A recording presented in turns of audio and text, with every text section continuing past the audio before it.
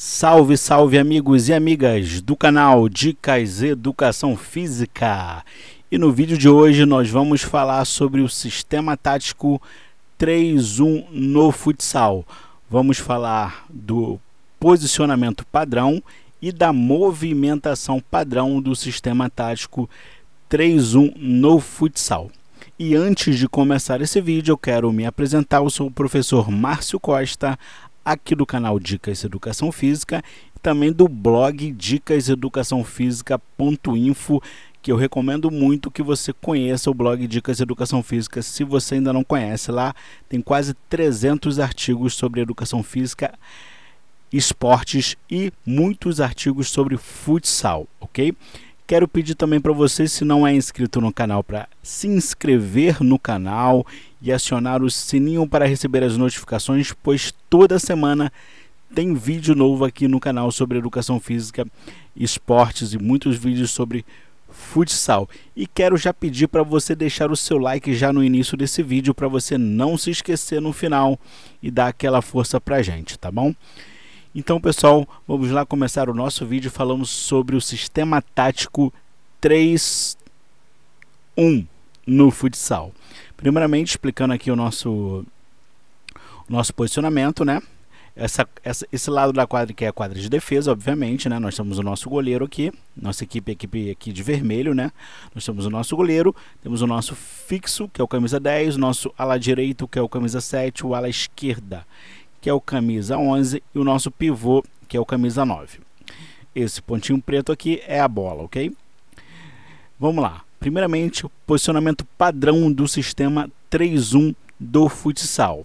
No sistema 3-1 do futsal, nós temos três jogadores mais recuado na quadra de defesa e um jogador mais avançado. Esse jogador mais avançado é sempre o pivô. Nós temos o jogador mais recuado centralizado, que é o fixo, e dois alas, o ala direito e o ala esquerda, nesse sistema 3-1. Então, primeiramente, vamos mostrar para vocês qual é a movimentação padrão no sistema 3-1, né? Vamos lá, o goleiro vai sair a bola aqui com o nosso fixo camisa 10, né? Beleza, o camisa 10 vai, vai dominar a bola e vai olhar a sua equipe. Se ele escolher jo sair jogando aqui com o ala direito, ele vai correr em direção ao lado direito, ao mesmo lado que ele fez o passe. Ok? O ala direito vai dominar a bola, né? vai se movimentar um pouco para o centro da quadra, ocupar mais o centro da quadra, vai olhar, olhar a movimentação da equipe e vai passar a bola aqui para o ala esquerda e vai correr também para o mesmo lado que ele passou a bola, ok? Para o lado esquerdo. O ala esquerda dominou a bola, né?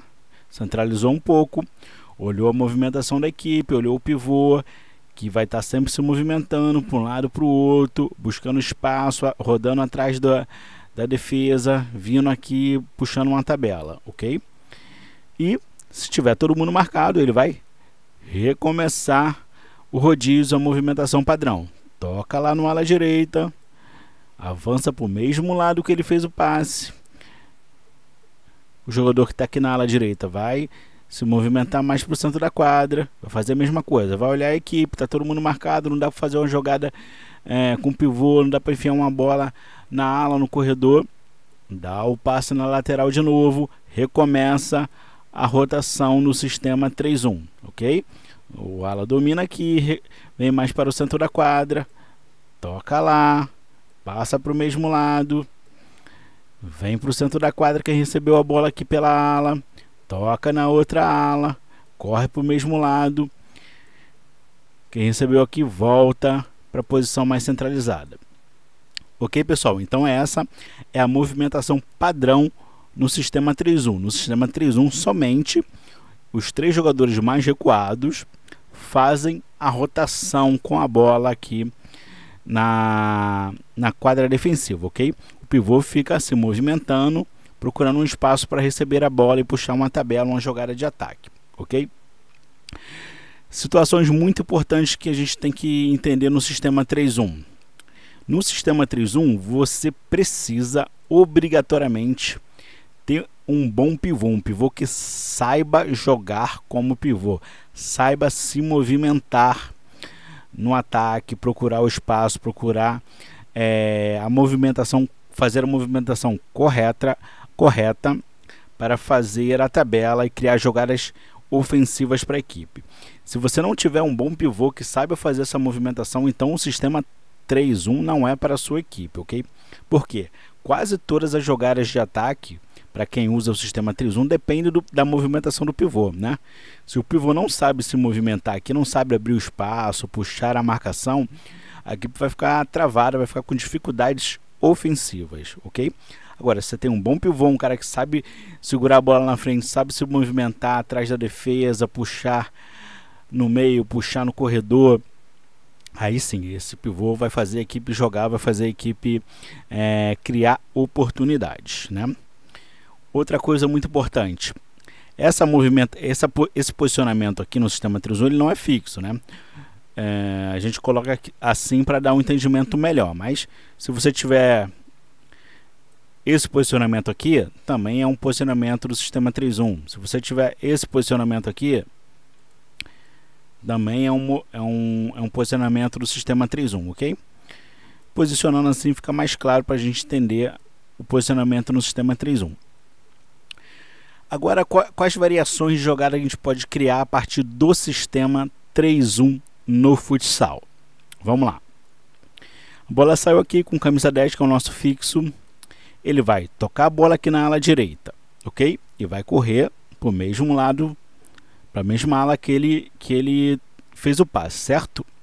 Nesse momento, o ala direita que recebeu aqui já tem como opção dar o passe para o fixo que passou aqui pelo corredor, né? Ele também vai ter como opção dar o passe para o pivô, que vai, obviamente, se movimentar para receber a bola, né? E uma jogada mais extrema pode até fazer um, um passe em profundidade, né? Por cima, um lançamento para o ala esquerda que pode passar nas costas aqui de toda a defesa se a defesa adversária não fizer a marcação correta. Ou seja, tudo depende de como a defesa adversária vai se comportar, se eles vão fazer a marcação correta ou não, né? Se o nosso fixo deu o passe aqui, passou, a defesa não acompanhou, ele pode receber a bola aqui, pode vir, é, se não tiver nenhuma cobertura, de cara para o gol e finalizar para o gol. Ou ele pode receber a bola aqui, vir, o pivô se movimentar aqui, ele passar para o pivô, o pivô finalizar para o gol, ok? Então sempre vai depender da marcação da equipe adversária, se ela vai funcionar corretamente ou não, se a cobertura vai estar correta ou não. É... Outra opção de jogada que pode acontecer no sistema 3-1, né? O fixo passou aqui na ala esquerda, correu para cá, é... o pivô se movimentou aqui no meio, o ala esquerda deu o passe no pivô, o pivô deu o passe no fixo que passou aqui, o fixo recebe a bola aqui com condição de finalizar para o gol, ok? Outra jogada aí que pode surgir no sistema 3-1 do futsal. Outra jogada mais básica que pode acontecer. Quando o, o fixo recebe a bola aqui mais centralizado, ele pode já diretamente enfiar a bola no pivô, né? O pivô pode se movimentar, a marcação pode dar uma cochilada, ele enfia a bola diretamente no pivô. Nesse momento, é importante que os alas se apresentem, né? para receber o passe, né?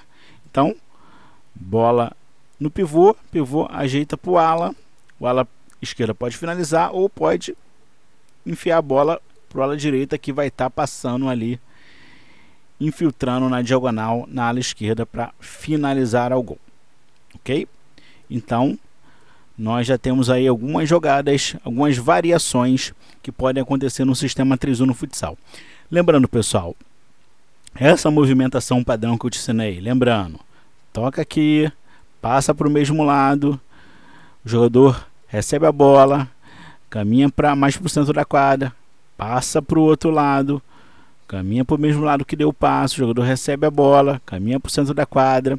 Essa movimentação padrão de rodízio em formato de 8 no futsal, ela não é a prioridade. A prioridade é tentar achar um espaço uma brecha na defesa adversária para tentar o gol, ok? Mas quando a marcação está bem postada, né? Você faz a bola girar, vai fazendo a bola girar. Achou uma brecha, enfia a bola, enfia a bola no pivô pelo meio, enfia a bola pelo corredor, né? Na ultrapassagem aqui na, na hora do passe, né? Na hora que o, o jogador centralizado deu o passe aqui, passa pelo corredor, pode receber a bola aqui. Então, o mais importante aqui é estar tá sempre ligado na defesa adversária, nas brechas que a defesa adversária, que a marcação da equipe adversária pode deixar para a sua equipe, ok? Então, quando você começa a treinar é, esse tipo de movimentação no sistema 3-1, é importante que você treine primeiramente sem nenhuma marcação, né? Você coloca os seus jogadores na quadra, começa a treinar essa movimentação, né? Passe na, no ala, corre para ala. O ala recebe a bola, centraliza, passa na outra ala, corre para ala. O ala que recebeu a bola centraliza. Essa movimentação é treinada primeiro sem nenhuma marcação, né? Depois a gente pode, né, adicionar a marcação para fazer uma simulação de jogo mais real, né? Bota jogadores para marcar aqui, marcando os alas, marcando o pivô. Né? Nós temos agora a equipe azul aqui contra a nossa equipe vermelha já simulando a marcação. Né? E agora vamos, vamos simular a movimentação. Passou aqui, passou aqui. Se esse camisa 11 cochilar, né? E não fizer a movimentação correta de marcação, que pode ser ou acompanhando direto, camisa 7, ou fazendo combinando com, com camisa 10 para ele acompanhar o 7 ele vinha acompanhar o camisa 11 se eles não fizerem essa marcação correta né o camisa 7 vai poder receber a bola aqui livre ok?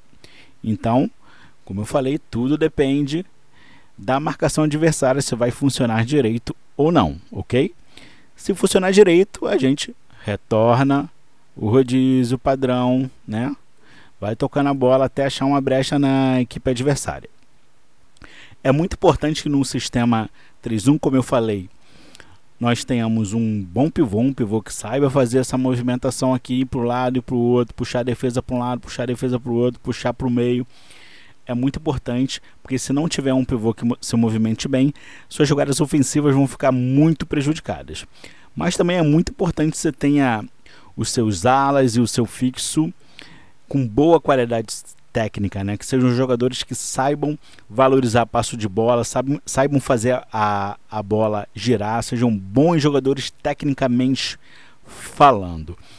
Porque se não forem, se forem jogadores caneludos, jogadores individualistas que só querem driblar partir para cima, né, não tiverem facilidade no passe, você vai ter dificuldade de colocar em prática esse tipo de esquema tático no futsal. Ok, amigos? Lembrando que eu vou deixar na descrição desse vídeo links complementarem, complementares a esse conteúdo. Lembro para você também que se não é inscrito no canal Dicas Educação Física, se inscreve no canal Dicas Educação Física e aciona o sininho para receber as notificações. Se você gostou desse vídeo, deixa o seu like. Se você não gostou, pode deixar o dislike, não tem problema. E lembrando que essa série de sistemas táticos do futsal continua na próxima semana, né? Nós vamos falar do sistema 2-2 no futsal na próxima semana. Não perca, fica ligado, assista os outros vídeos do canal e até o próximo vídeo. Tchau, tchau.